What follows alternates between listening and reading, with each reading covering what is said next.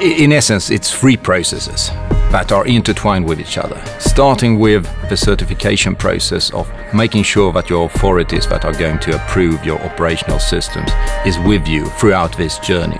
And uh, that's really where we start with the sort of authorization process or certification process, if you wish. And uh, making sure that you build a, a, good relationship with the ones that are going to, to put a rubber stamp that this is okay for operation and making sure that you have good discussions and making sure that you get the input and information exchange in a very transparent way since that will help your own journey of making your systems uh, uh, come into operation.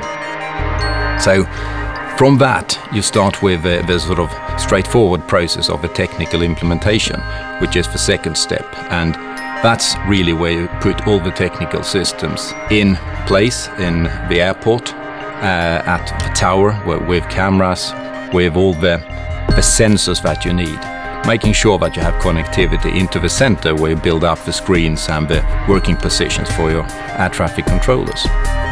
That step is fairly straightforward. You have everything is sort of predetermined when it should happen. So it's a start and a finish.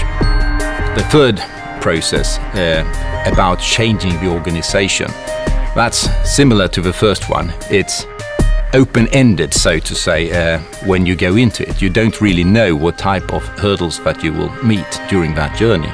But all depends on how ready are your operators and your workforce to, to go into this change? How have you prepared yourself with information? Is it something that will be uh, requiring a lot of changes for people on a personal level? Then, of course, you have some hurdles that is not related to the technology that you're going to implement, but it's related to the people that are going to change their daily work, their daily lives, perhaps if moving from one area to another. So a lot of change management involved in that process. But finally, they all come together at an end where you have a technical system implemented, ready to go. You have a rubber stamp from the authorities, you're ready to go, and you have your own organization that is ready and comfortable with using this new set of tools to perform their daily work.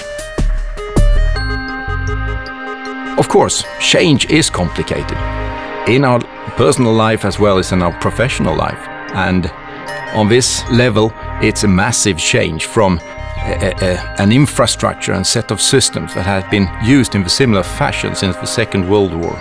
How do we, we handle change in our daily lives? We, we try to get experiences, look what other people have been doing, and, and trying, based on that, get ourselves informed. And with that, we can actually take ourselves through a change process with the least possible impact in sort of pain, if you wish.